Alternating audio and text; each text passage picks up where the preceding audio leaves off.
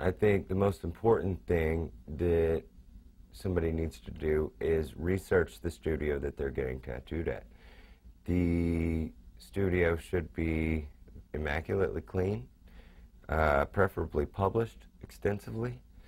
Um, and you can totally tell a lot about a studio just by either their local reputation or their national reputation. Um, any articles that their artists or the studio might have.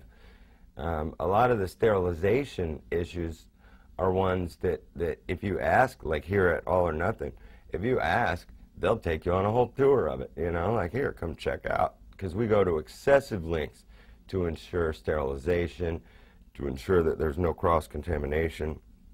And um, it is important. There's a lot of important factors to getting tattooed, though, that are more art-related.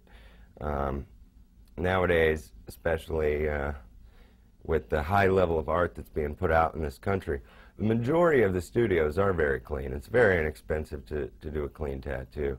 So it's, it's not near the issue it was when I started tattooing 17 years ago. Nowadays, um, most shops are clean. That doesn't mean all of them. Um, but if I were a new client, the, the first thing I would want to look at is portfolios. I'd want to see stuff that the people already did, whether it's published or not. And I'd want to definitely verify and make sure that whatever style of artwork that was happening was exactly what I wanted because um, there's such a wide variety of art and such a wide variety of execution. You know, when I first got tattooed, I just thought, I'll pick something off the wall and it'll be perfect. Well, that's not true. There's really no reason to do that anymore because now the sky's the limit. Art has no boundaries and there's nothing that we can't tattoo.